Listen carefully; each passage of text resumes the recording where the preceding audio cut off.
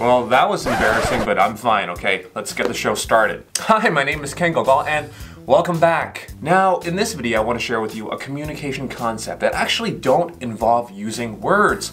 We call it body language or non-verbal communication。嗱，我相信大家一定聽過咩叫做 body language 啦，就係身體語言啦。英文有時候我哋會叫佢做 non-verbal communication，即係唔會用言語講嘅一啲對話或者溝通。For example，如果係講嘢有障礙嘅人嘅話咧，有陣時候會用手語啦，right？嗱，當然啦，今日 Ken 哥哥唔係想教大家手語，但係有一啲好 common 嘅 hand gesture 或者 body language 咧，係想同大家分享嘅。For example，this one，see if you understand what I'm trying to say。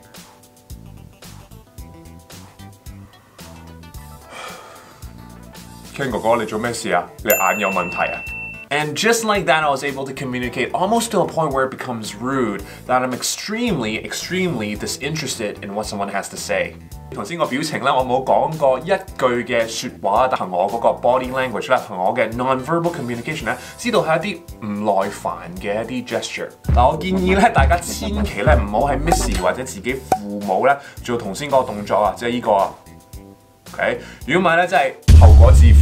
Now that was only a representation of what body language or gestures are. Today I really want to show you or basically demonstrate a few hand gestures, body language that we use with our hands。嗱，我想大家估一估啦，第一个手势咧，外国人咧会统称叫做 the bird or flipping someone the bird bird。中文翻译咧就叫做鸟啦或者雀仔啦，唔通头先嗰个手势就系依个 ？Nope, that's not the one. Now, you're flipping someone the bird.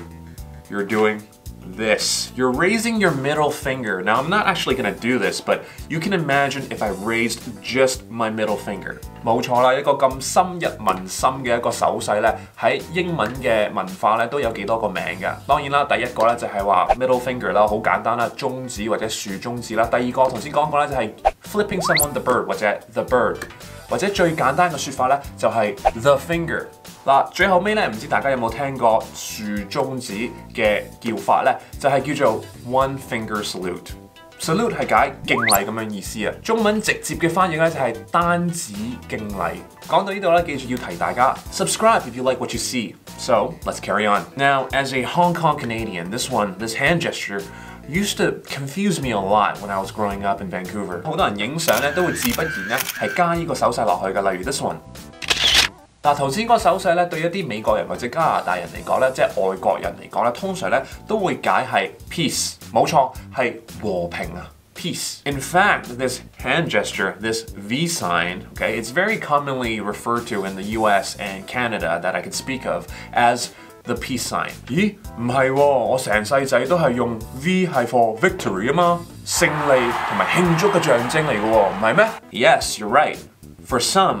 This can also be the peace sign. Now, whatever you do, don't flip this around. 嗱，就算 V 系 victory 又好，peace 都好啦，点样都好，千祈唔好将佢反转啦，因为咧反转咗咧就会有冒犯嘅意思噶啦。And now it's time for our takeaway. Takeaway number one. Now, this is arguably the world's most well-known hand gesture, and it has several names. It's called the finger, well, the middle finger, flipping someone the bird, or the one finger salute.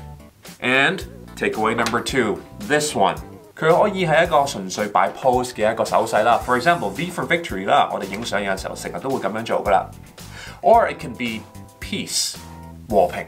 Oh yes, and there's one more thing. You can let me know what you want me to teach in the next video in the comment. Well, that wraps it up for this video. Remember to share, subscribe, and comment.